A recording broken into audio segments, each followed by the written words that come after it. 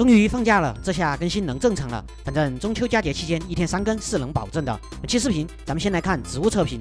冬青骑士冷却时间十秒，阳光消耗一百五。攻击模式，点击冬青骑士后获得准心，再点击场内任意位置，冬青骑士便会发射小冬青，对约二乘一范围内的僵尸造成伤害。冬青在发射小冬青后，需要经过四秒才能重新被选中。发射的小冬青可以击退范围内的非飞行类小体型僵尸两格。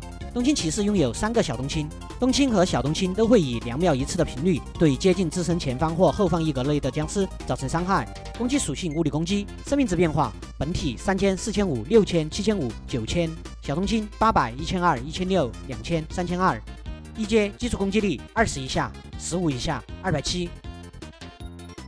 二阶攻击力上升至三十二十二点五，四百零五，攻击范围向上下各扩张一格。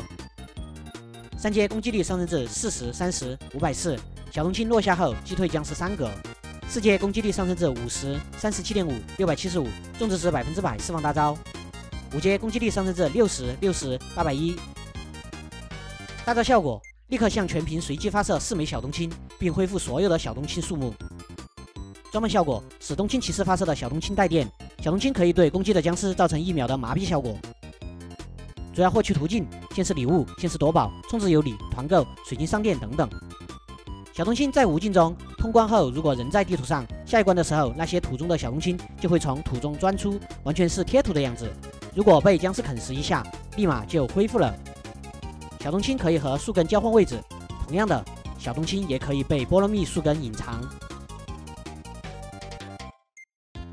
发射出去的小冬青，如果在以下三种地形中都不会落地存在：海盗港湾不见了，天空之城不见了，巨浪沙滩不见了。不过在海面上如果有连叶，那么小冬青就能存活下来。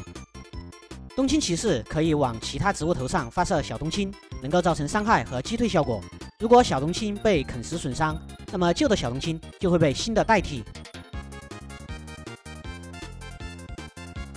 植物总结。冬青的获取也不算难，攒攒水晶就能获得。不过目前刷新过去了。